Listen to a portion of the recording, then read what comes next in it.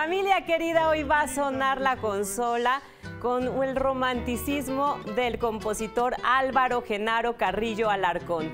Él nació en Cacuatepec, Oaxaca, el 2 de diciembre de 1919, conocido en el medio artístico como Álvaro Carrillo.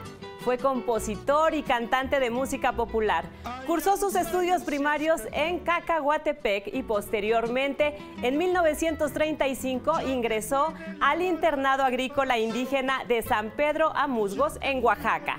Pero debido a una revuelta originada por el reparto de tierras, el internado se clausuró. En esta etapa de su vida, entre fiestas populares donde se tocaban baladas mexicanas y sones costeños, inició su carrera en la música. Escuchemos de su inspiración este tema que a todos nos gusta, el andariego.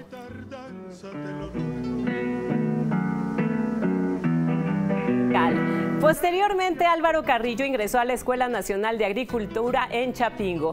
Fue tal su pasión por la composición y la música que abandonó el estudio durante un año. El director de la escuela lo convenció de que terminara la carrera de agrónomo, pero él era un bohemio de corazón, un gran compositor, intérprete de sus canciones y en este ámbito llegó a ser uno de los más grandes artistas mexicanos, de fama internacional. Escuchemos otra de sus composiciones que hiciera éxito José José, La Mentira.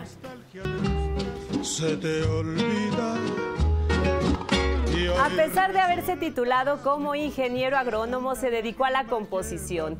A través de su amistad con el trovador Carlos Madrigal, logró que el trío Los Duendes le grabara el tema Amor Mío, que se convirtió en un gran éxito que le hizo abandonar por completo su carrera de agrónomo y dedicarse de lleno a la composición.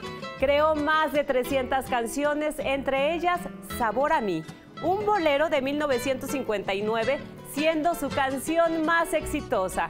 Su vida inspiró la película Sabor a mí, interpretado por José José.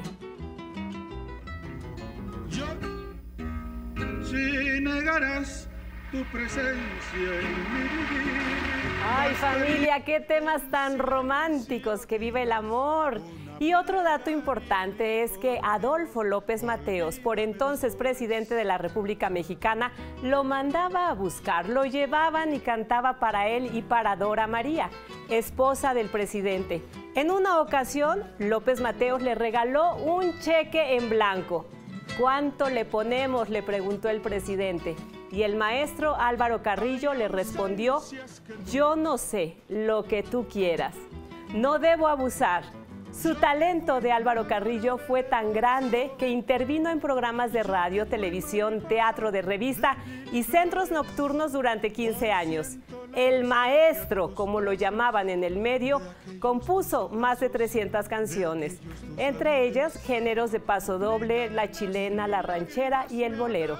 Escuchemos el siguiente tema. Cancionero. Yo soy un humilde cancionero. Como una Álvaro Carrillo desafortunadamente falleció en un accidente automovilístico en el año 1969 a la edad de 50 años. Regresaba a la ceremonia de toma de posesión del gobernador del estado de Guerrero. El chofer de la familia falleció instantáneamente. Álvaro Carrillo minutos después y su esposa Ana María al día siguiente. Sus dos hijos, Álvaro y Mario, resultaron con lesiones menores. Los cuerpos se velaron en el Teatro de los Compositores en la Ciudad de México. Álvaro Carrillo, compositor del amor. Su legado perdura en cantantes famosos y es orgullosamente de Cacahuatepec, Oaxaca. Si te gustaron estas canciones, si tienes algún recuerdo que te hayas enamorado, que hayas bailado la canción en tu boda, escríbenos a nuestro WhatsApp. Queremos saber si en tu casa también sonó la consola